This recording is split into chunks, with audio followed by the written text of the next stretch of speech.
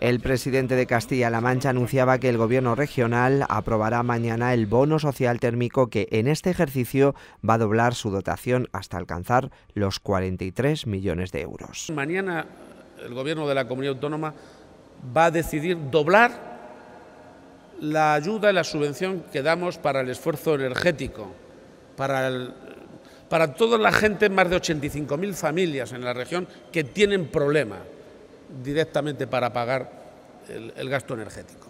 85.000 familias. Parece mentira ¿eh? que lo podamos decir a estas alturas. Se ha incrementado el problema desde el 2020, lo hemos multiplicado por 5. Y en el 23 lo vamos a doblar respecto del 22. Estamos hablando, por tanto, eh, que el, el, bono social térmico en esta región va a alcanzar a 85.000 familias, Queremos que lleguen además los pagos eh, entre marzo y abril como muy tarde para que sea además lo más eficaz posible. García Paje también ha hablado del nuevo plan hidrológico del Tajo, un texto que ha de ser ratificado por el Gobierno de España en la reunión del Consejo de Ministros. No podría ser de otra manera porque es el cumplimiento estricto de la ley, de las directivas europeas y también, si me lo permiten, del sentido común, aprobando por primera vez en 40 años una normativa sobre agua que va a garantizar el futuro de esta tierra y que no va a perjudicar en realidad, más allá del ruido, a nadie de forma interesada. Yo defenderé como español el que pueda haber agua para todos los territorios, pero teniendo en cuenta que nosotros aquí no podemos captar el agua del mar, cosa que otros muchos sí lo pueden hacer para el consumo. Una región como la nuestra, necesitada de agua y que lleva padeciendo la hipoteca de un, trasvase durante ya muchos años, muchos años, muchas décadas. Es realmente importante el momento que estamos viviendo. Hoy yo como presidente puedo dejar más claro que nunca desde que haya autonomía, que esta tierra va a contar con todo el agua que se necesite para su futuro. No es política, o al menos siendo política, no es la política barata, partidista que algunos plantean siempre que hay debates. No. Cuando hablamos de defender el agua, estamos hablando de defender el empleo en Alovera. Cuando hablamos de defender el agua, lo estamos hablando para el sector agroalimentario en su conjunto para la ganadería, para la agricultura. También ha recalcado que el agua es materia prima indispensable en una región que ha visto que proyectos empresariales e industriales no se han llevado a cabo por no tener asegurado el suministro hídrico. Los centros educativos de Castilla-La Mancha están recibiendo actualmente más de 12.500.000 euros para seguir reforzando sus gastos de funcionamiento, hacer posible más actuaciones de mejora en sus infraestructuras, adquirir nuevo equipamiento deportivo y continuar con el desarrollo del programa Leemos CLM. De ese capital importante de dinero, 6 millones van a funcionamiento, una parte a funcionamiento ordinario, que son los 4, millones de euros, y otra parte, cerca de 2 millones, a un eh, libramiento extraordinario que ya anunciamos y que habla de ese compromiso que generamos con los centros para que tuvieran un libramiento mayor, una aportación económica mayor por parte de la Consejería y así poder acometer eh, ese tipo de subidas en cuanto a las energías u otro tipo de funcionamientos que como sabemos eh, es, para ellos es mucho más costoso. Además, 5 millones y medio de euros irán destinados a acometer diferentes actuaciones de reparación, ampliación y mejora en sus infraestructuras. Rosana Rodríguez, consejera de Educación, Cultura y Deportes, ha dado cuenta de esta información en la colocación de la primera piedra de la ampliación del Instituto Ana María Matute de la localidad guadalajareña de Cabanillas del Campo. Una ampliación que finalizará aproximadamente en el mes de mayo, que sabéis que, está avanzada, en avanzado momento de, la obra y que va a consistir en la realización de cuatro aulas que van a permitir también ese desahogo al, centro, otro aula eh, polivalente y una serie de, elementos o de espacios complementarios y aseos. Por tanto, esta ampliación va a suponer también para el centro una, pues un pulmón en cuanto a, a ganar esos espacios tan necesarios para hacer frente a estas nuevas necesidades eh, educativas que va teniendo el, centro, el centro educativo. La ampliación del IES Ana María Matute tiene un coste de más de un millón de euros. Está prevista que sea finalizada en el mes de mayo, por lo que según las concreciones de los servicios técnicos de la Consejería de Educación, podría dar servicio al alumnado de la localidad en el curso escolar 2023-2024. Centrada en la nueva infraestructura, la responsable de educación se ha felicitado por este primer paso acometido en el día de hoy y ha agradecido al Ayuntamiento de Cabanillas, personificado en la figura de su alcalde, José García, su compromiso con el gobierno de Castilla-La Mancha y con el sistema educativo local. La previsión de fuertes nevadas y vientos ha hecho que el gobierno de Castilla-La Mancha active el plan específico ante el riesgo por fenómenos meteorológicos adversos, el conocido como Meteocam, en toda la comunidad autónoma estará activo desde las 23 horas de este mismo lunes en fase de alerta. En la provincia de Toledo tan solo habrá fuertes vientos según prevé la Agencia Estatal de Meteorología tanto para hoy como para mañana. El aviso por nieve no afectará a la provincia capitalina, aunque sí a Cuenca, Guadalajara y Albacete. El delegado del Gobierno de España en Castilla-La Mancha, Francisco Tierra Seca, visita el autobús del ingreso mínimo vital para las personas más desfavorecidas. El objetivo de este servicio es informar y ayudar a la ciudadanía sobre los trámites y las políticas ligadas a una de las prestaciones más consolidadas entre el amplio conjunto de medidas de protección social que ha impulsado en los últimos dos años el Gobierno de España.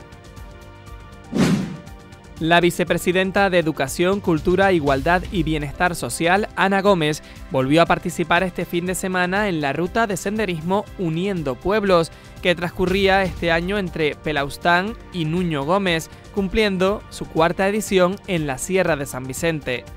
Gómez destacaba la importancia de esta jornada de convivencia que sirve cada año para conocer los recursos paisajísticos, monumentales y patrimoniales de la comarca y unir a los pueblos en una actividad de ocio y deporte saludable. La ONCE deja casi 2 millones de euros en la localidad de Talavera de la Reina. Han sido premiados 17 cupones, 16 de ellos con 20.000 euros y un cupón con la serie premiado con el soldazo de la ONCE, es decir, 300.000 euros al contado más 5.000 euros al mes durante 20 años, un total de 1.500.000 euros.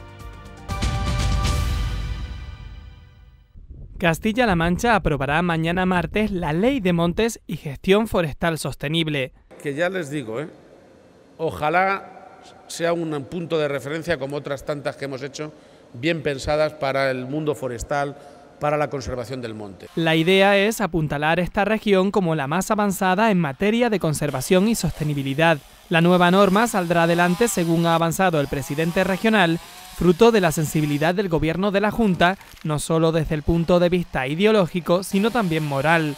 La mitad de la región es masa forestal eh, o asimilable. No todo se conserva según quisiéramos ni todo a veces se conserva con intención de durar también con mecanismos de sostenibilidad. La última ley de monte fue aprobada en el año 2008, hace ya 13 años. Aprobar una nueva ley adaptada al tiempo actual y que sea acorde con la normativa estatal es necesario tal y como avanzó en su momento el consejero de Desarrollo Sostenible, José Luis Escudero.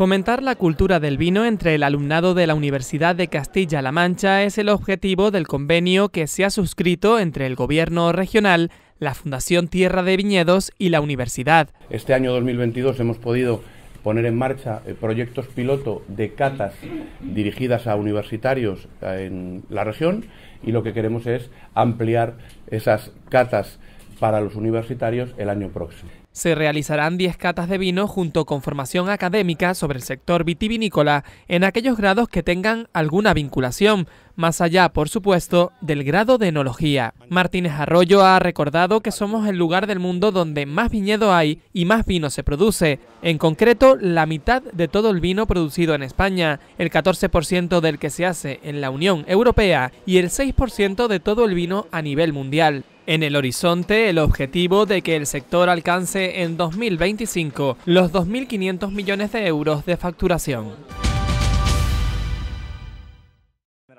El candidato a la alcaldía de Toledo y presidente provincial del Partido Popular, Carlos Velázquez, lamentaba el abandono del gobierno de Emiliano García Paje en la atención primaria.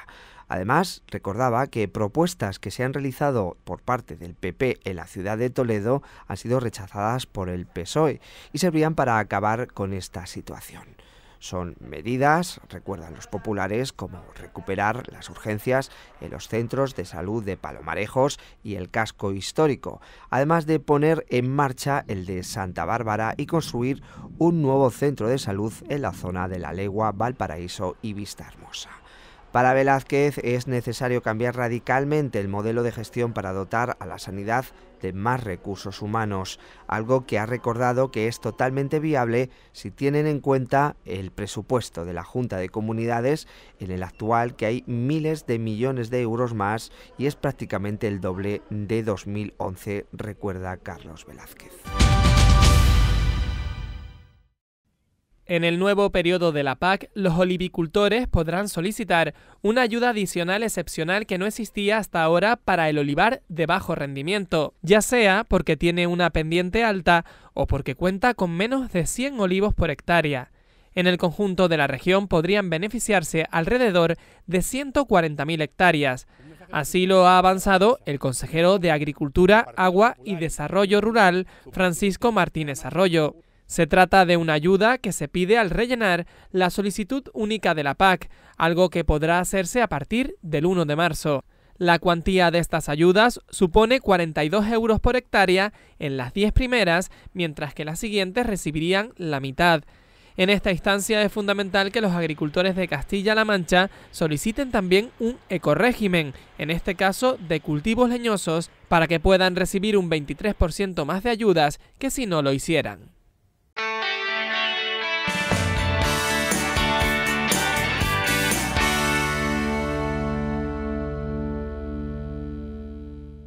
En pleno Montes de Toledo y en invierno con el frío como protagonista, los vecinos de Los Navalucillos preparan las jornadas rito gastronómicas, un homenaje a las matanzas que tantas veces se han llevado a cabo en poblaciones como esta. Típico de los pueblos, la judía, la matanza, luego los chorizos, las morcillas, todo, la sorda, todo. Ahora lo vamos a hacer, vamos a hacer el guiso de las judías ahora mismo para echarlo luego en las judías. Con el cerdo como protagonista, sin que nada sea desechado, las cocineras preparan con tesón este popular encuentro gastronómico. Porque los jóvenes no saben hacerlo. Lo ven, lo ven, lo ven, pero no saben hacerlo. Una fecha muy importante para este municipio. El turismo también forma parte de la estrategia económica del consistorio. Es una manera más de, demostrar a los visitantes que los Navalucillos está intentando eh, de encontrar su sitio en la salida de la crisis en, en, el turismo. Es una, es una apuesta más por, por el turismo. El consejero de Hacienda, Arturo Romaní, no ha querido perderse esta novena edición, donde ha pronunciado el pregón y ha sido nombrado Matancero de Honor 2014. El hecho del aprovechamiento que se saca del cerdo, el, el hecho de ser un animal agradecido, que todo lo que se echa al cerdo, el cerdo lo devuelve y además el oficio de toda la gente que a lo largo de la historia pues, ha ido perfeccionando técnicas que han dado lugar a que se aproveche todo al máximo, incluso a, dar lugar a una industria eh, sólida y potente. Con todo este ambiente gastronómico y festivo no pudieron faltar los típicos cánticos que se tarareaban en las matanzas de antaño. Dicen que canta conejos y yo digo que es verdad. Yo tengo un gato muy chiquitito con sus orejas y su rabito. Si alguna chica lo quiere ver, que venga a una despensa y se